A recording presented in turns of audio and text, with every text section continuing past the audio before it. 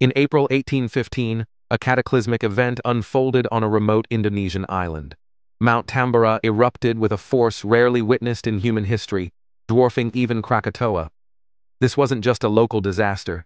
It propelled billions of tons of ash and gas into the stratosphere, creating a veil that would soon envelop the entire planet. The following year, 1816, became known as the Year Without a Summer. Global temperatures plummeted, disrupting weather patterns across continents. Europe and North America endured unprecedented cold, persistent rain and widespread frost, even in July. This atmospheric disruption was a direct consequence of Tambora's immense power.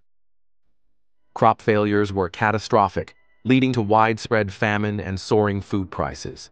Desperate populations migrated en masse, seeking sustenance and stability. This era of hardship fueled social unrest and disease outbreaks, pushing societies to their breaking point. Yet from this despair, unexpected innovations emerged.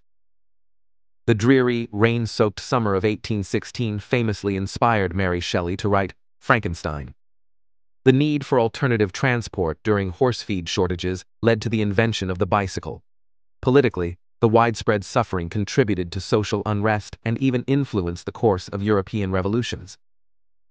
Tambora's eruption serves as a stark reminder of nature's profound influence on human civilization. A single volcanic event, thousands of miles away, reshaped climate, sparked innovation, and altered the very fabric of global society. Its shadow stretched across continents, leaving an indelible mark on history. Like, share, and subscribe for more incredible, scary, and unexplained facts at your channel, Facts News.